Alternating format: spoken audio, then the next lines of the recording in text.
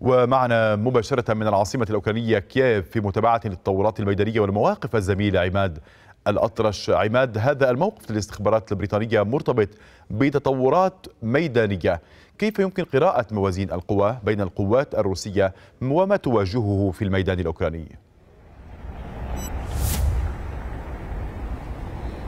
نعم روبير كما تعلم معركة سيطرة القوات الروسية على سبيل المثال على مدينة سيفيرودونيتسك وهي مركز مقاطعة لوهانسك استمر تقريبا لأكثر من شهر. بعد ذلك بدأت القوات الروسية تفقد زخم هجومها رغم سيطرتها تباعا على مدينة ليسيتشانسك المحاذية. بالضبط البيان أو التقرير الاستخبارات البريطاني الذي ذكرته أشار إلى نقص حاد في عديد القوات الروسية. القوات الروسية تعمد إلى القصف المدفعي العنيف وهي ما تجيده في الفترة الأخيرة خاصة في المدن الرئيسية المتبقية في أيدي القوات الأوكرانية سلوفيانسك كراماتورسك وباخموت وجميع البلدات المحيطة بتلك المدن.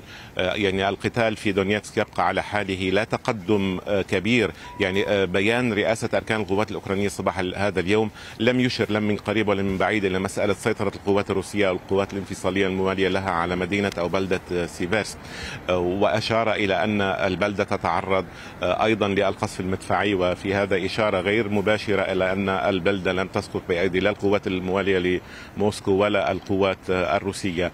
ليلا روبير كان هناك قصف عنيف صاروخي على مدينة نيكوبول في مقاطعة دنيبرو بتروفسك وهي مدينة تتعرض في الأيام الأخيرة إلى قصف مدفعي صاروخي كبير إلى جانب مدينة دنيبرو وهي مركز المقاطعة بسبب وجود البنى التحتية الهندسية فيها صناعات هندسية خاصة فيما يتعلق بصناعة الصواريخ حتى الصواريخ التي كانت تحمل المركبات الفضائية في زمن الاتحاد السوفيتي. ليلا كان هناك اتصال بين رئيس أركان القوات الأوكرانية الجنرال فاليري زالوزني ورئيس هيئة الأركان المشتركة للجيوش الأمريكية الجنرال مارك ميلي. أشار إلى أن زالوزني طبعا أشار إلى أن صواريخ الهايمرس استطاعت إحداث فرق كبير في المعارك نعم. وبأنها ساهمت في إحداث توازن مع القوات الروسية في قتالها للقوات الأوكرانية. روبير مباشرة من العاصمة كييف الزميل عماد الأطرش وكل هذه المعلومات.